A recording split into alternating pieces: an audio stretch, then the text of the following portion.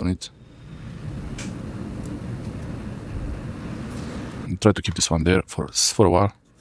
And yeah, let's see. This connector, this the USB stick itself, the body doesn't seem to be damaged. I don't see any cracks on it. So maybe it's okay. Maybe really this metal thing protected it. But I see this thing was squashed, so maybe I think this was squashed here, so maybe it got compressed, or maybe it was just a rock here. There were a few stones there. Okay, so I'll try to try to remove some of this stuff there. This is only the case. That's just the case of the USB, but I don't see any markings on it, no anything. That looks like a crack, I think. It seems to be like a crack, or I'm not sure.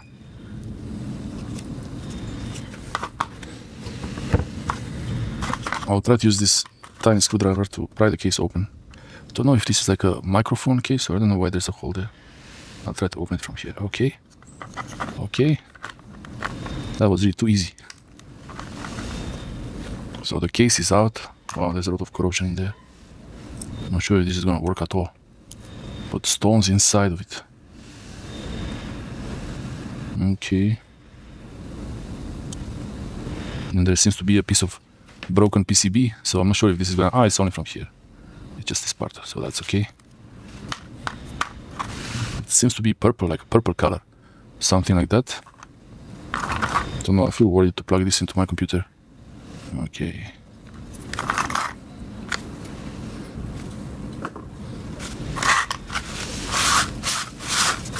Okay, let's see.